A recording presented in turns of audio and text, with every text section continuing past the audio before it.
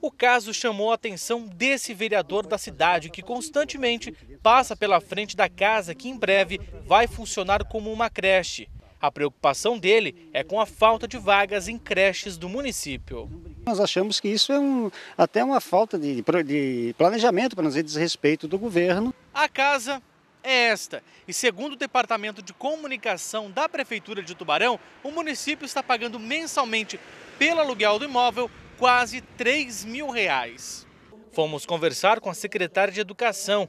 Segundo ela, a demora para o início das atividades se dá por conta do atraso na licitação para a compra de imóveis. Quando se trata de uma empresa pública, é diferente, mesmo se tendo dinheiro em caixa, não se pode ir lá ver onde é o mais barato. Tem que se abrir um processo licitatório, esperar em que as pessoas venham e vença o que é, compreende e atende os requisitos com um preço mais barato. Indagada sobre a falta de vagas nas creches de Tubarão, ela foi direta. Hoje o município está atendendo a demanda. Cada família que busca essa demanda junto à Fundação Municipal, nós estamos colocando as crianças, às vezes não no local em que a família quer, mas no local em que a gente tem vaga. Já com relação ao funcionamento da casa, que está alugada há quase cinco meses, ela garante que em breve o local estará atendendo cerca de 70 crianças.